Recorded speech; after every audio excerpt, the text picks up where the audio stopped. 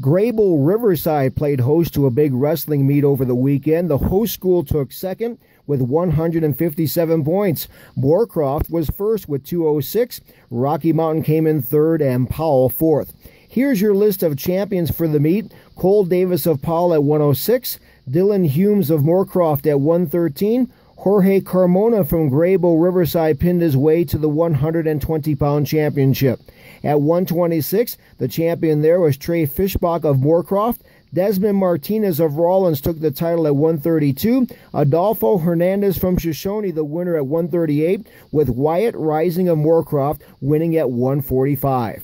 To 152 pounds, Cole Hill of Greybull Riverside pinned his way to first place.